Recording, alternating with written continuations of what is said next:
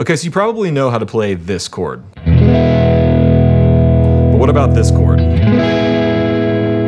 Or this chord? Or this chord? Those are all variations of an E major chord. They're all based on the same chord. Now, if you're at all like I was when I was first starting out, I didn't know that you could play chords in multiple places on the neck. In fact, when I took my entrance exam for music school, the uh, professor that gave me the exam asked me to play an F major chord, and I did. And he said, All right, great, now play me that chord in another position. And I didn't know what he meant. I was like, Well, that's F major, that's the F chord.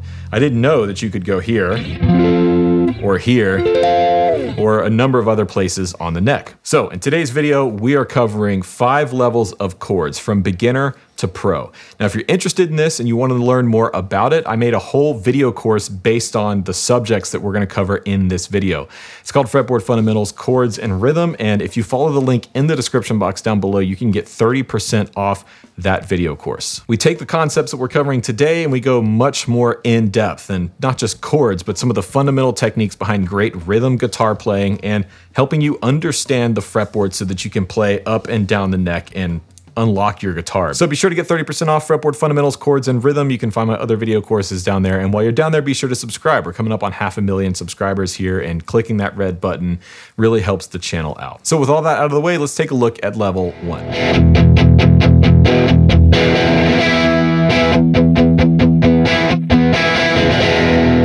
One's the power chord. Now, when we all start playing guitar, more than likely this is one of, if not the first chord types that we all learn. Now, this is level one, so it's really simple. A power chord is only two notes. It's the root note, in this case E, and the fifth note, in this case B. Now, if you're not familiar with root and fifth, basically what it means is we're taking two notes from the major scale that the chord is based on. Now, your major scale is seven notes.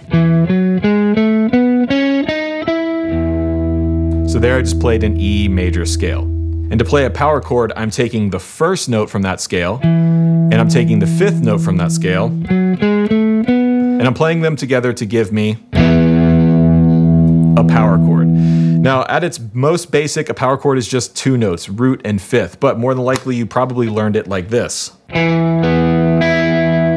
There's three notes being played there, but the note here on my pinky is just another E the root note. So I have root, fifth, root. Now we can take that chord shape and play it in a couple different places on the neck and still be playing the same chord, anywhere we have an E as our root. So I can play a six string root here. I can play a fifth string root here off the seventh fret.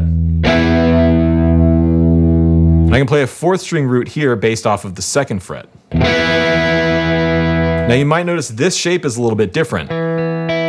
Instead of here, I'm moving my pinky up a half step, and that's because the guitar is tuned in fourths up until the B string. So we have E to A, which is a fourth. Then we have A to D, which is a fourth. And then we have D to G, which is a fourth. And then we have G to B, which is a third. Now, because that's a third, I have to take this mm. note and slide it up a half step to get back to my root, to get back to my octave.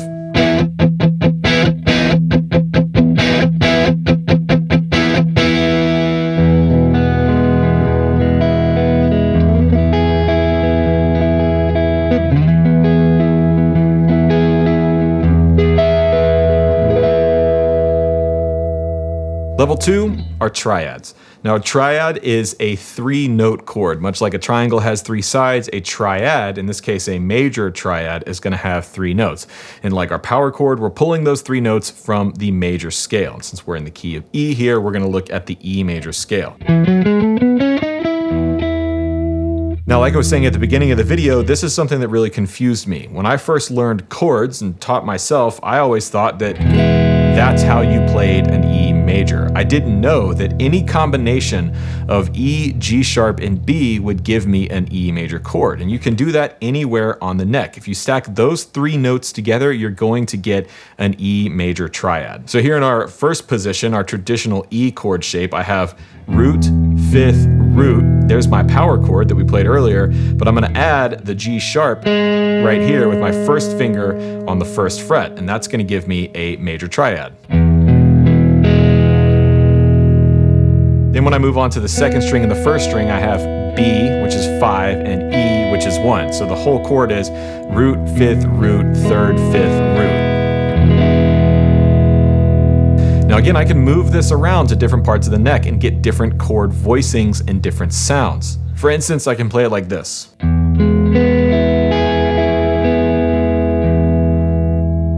That's the same chord. That's an E major, but it looks completely different. So what do we have going on here? This time I'm gonna start with my third note, G sharp, as the lowest note, then my fifth, B, then my root E, and then a third G sharp again.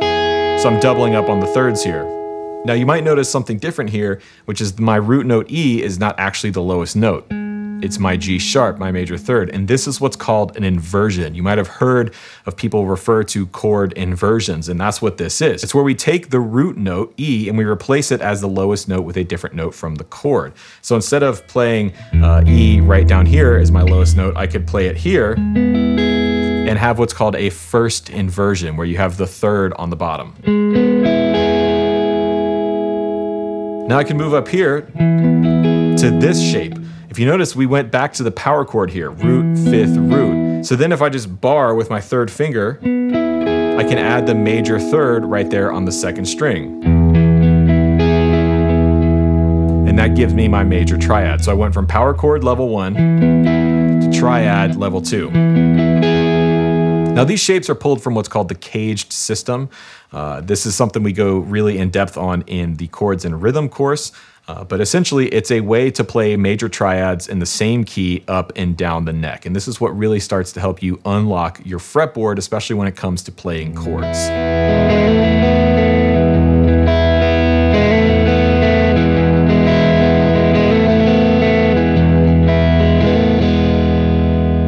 Suspensions or sus chords. Now, this is another concept that we learn pretty early on as guitar players. Uh, this chord, for example.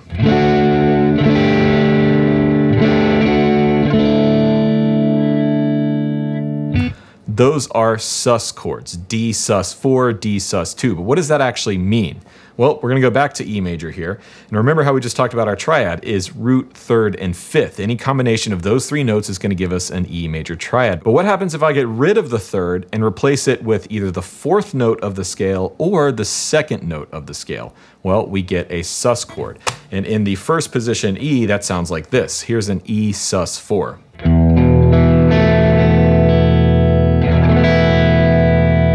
Back to E major.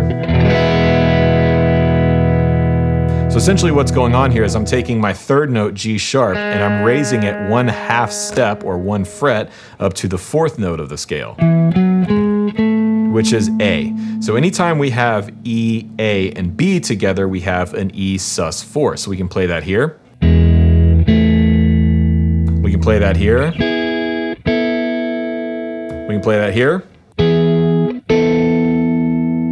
We can play it up the octave here. But you can also do a sus2 chord, which is where you replace the third note with the second note of the scale, which is F sharp. So anytime I have E, F sharp, and B together, I have an E sus2, which sounds like this.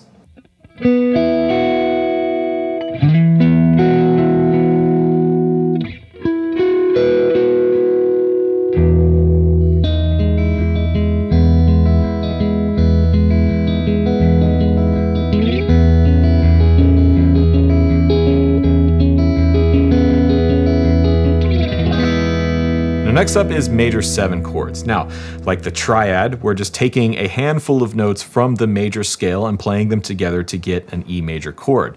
And like the triad, we're gonna play the first, third, and fifth note of that scale, but we're gonna add one more note in this case, which as the name of the chord suggests is the seventh note. So I have my E, G sharp, B, but then I also have my D sharp, the seventh note of the scale. And that gives me this interval here, this major seventh interval, which has that dissonance, that kind of rub. Because those notes are really only a half step apart, D sharp and E.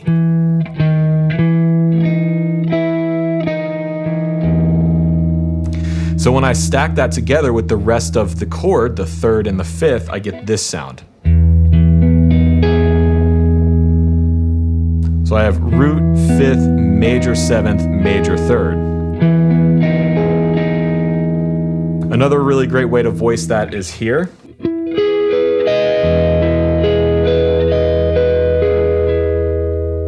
Same idea, root, third, fifth, major, seventh. Now, seventh chords are great because they start to invite a little bit more complexity into your sound.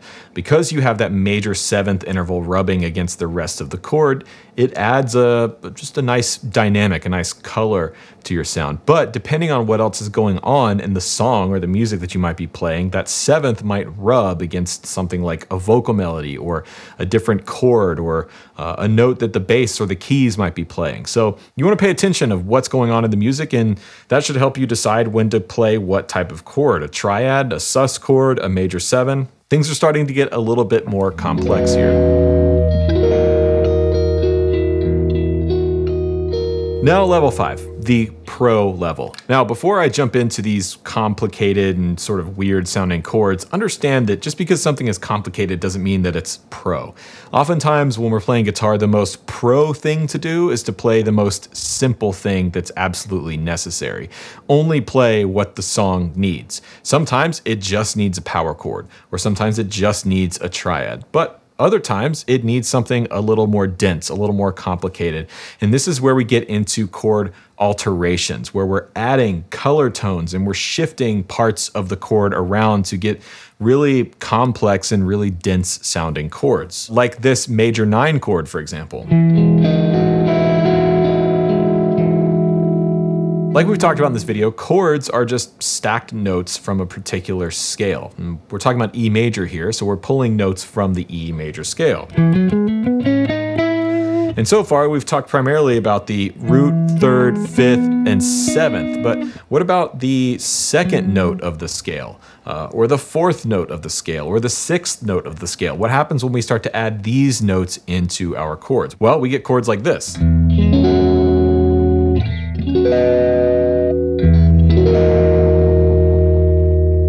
Those are all variations of E major. The first chord I played was an E major 6-9. Now we call it a 6-9 because it has both the sixth note from the scale and the ninth note of the scale. Now ninth is just the second but up the octave. If I keep going up the major scale, I have root, second, third, fourth, fifth, sixth, seventh, root, or eighth, and then I can go to the ninth, the 10th, the 11th, so on and so forth. So when I say 6 9, what I mean is I'm taking the sixth note of the scale and the ninth note of the scale and I'm adding them to my major chord. So I have root, third, sixth, and the ninth. Also, like we've talked about, any combination anywhere on the neck of those notes is going to give me that 6-9 sound. So here's another example. Except there I'm adding the major seventh on top. Now that's a really beautiful sounding chord. But what happens if I alter it even further? What happens if I take the B, the fifth, and drop it down here and I just bar across my 11th fret? What does this give me? That's gonna give me a sharp four because I'm playing the fourth note of the scale, A, but up a half step. So this is like a E major 6, 9, sharp 11 or something like that. Point to understand here is that chords are not set in stone.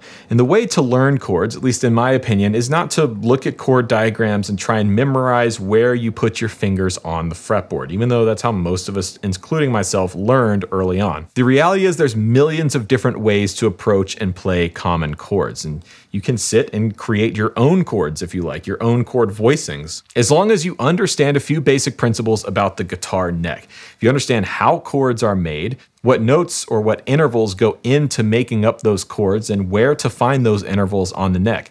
If you can put those three things together, then you can start to unlock the fretboard and play chords and chord voicings that you wouldn't normally think of and start to have a more firm understanding of the fretboard. So there you go. There's five levels of the E major chord from beginner to pro. And again, I want to highlight the fact that pro does not always mean the most complicated, the hardest to play, the most complex. Oftentimes, in my experience, the pro move, the pro part to play is the simplest and the best sounding. It's whatever the song needs. But hopefully, this video gave you a little bit better understanding of where chords come from and how to approach them on the neck. And if you want an even deeper understanding of that concept, check out the Fretboard Fundamentals Chords and Rhythm course linked down below. You get 30% off that course. Uh, and you can check out my other video courses down there, as well as links to some of the gear that I use to make today's video. Those will be affiliate links, which is a great way to support the channel if you like what I do here.